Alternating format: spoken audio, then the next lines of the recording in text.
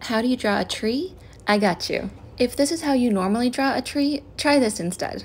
Start at the top of the tree and draw V-shaped branches. Connect them all to the center, which will be the trunk of your tree, and then repeat the same technique on the other side.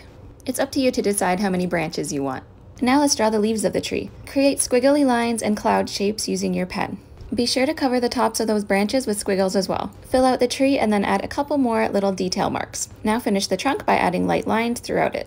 Voila! Give it a try.